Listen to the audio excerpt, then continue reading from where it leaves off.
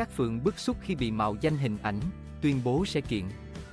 Các phương bày tỏ sự bức xúc khi liên tục bị mạo danh hình ảnh. Mới đây, trên trang cá nhân nghệ sĩ Các Phượng đăng tải bài viết bày tỏ sự bức xúc khi bị mạo danh hình ảnh để quảng cáo sản phẩm. Các Phượng viết, nửa nè trời ơi là trời.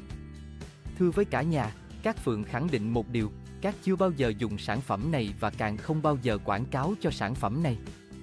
Dùng hình ảnh của tôi để quảng cáo cáo sản phẩm của các bạn kiểu này tôi kiện nha.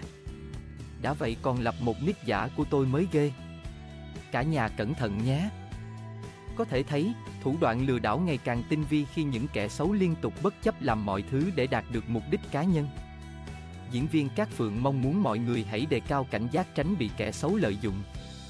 Ngay sau khi bài viết được đăng tải, rất nhiều người đã bày tỏ sự đồng tình và chia sẻ câu chuyện bản thân đã từng gặp phải khi bị lừa mua những sản phẩm kém chất lượng, tiền mất, tật mang. Cách đây không lâu, nữ nghệ sĩ vừa đăng đàn trên trang cá nhân tuyên bố sẽ kiện vì bị cắt ghép hình ảnh quảng cáo cho một mỹ phẩm mà bản thân cô chưa từng sử dụng.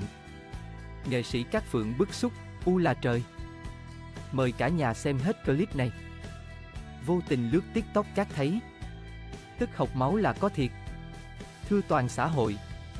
Các khẳng định, sản phẩm này các chưa sử dụng bao giờ và càng không có nhận quảng cáo cho sản phẩm này.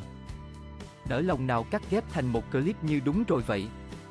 Cái khúc mà các thoa kem lên da mặt của các là các thoa kem chống nắng. Trời ơi là trời, ai cắt ghép? Làm clip kiểu này trên hình ảnh của tôi đúng là quá đáng quá. Tự tiện lấy hình ảnh của tôi để quảng cáo sản phẩm của các bạn kiểu này là tôi kiện nhé. Mọi người chia sẻ dùng các để nhiều người biết với ạ. À.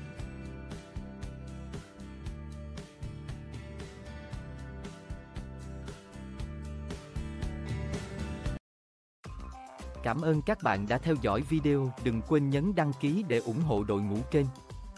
Hẹn gặp lại trong các video trước theo.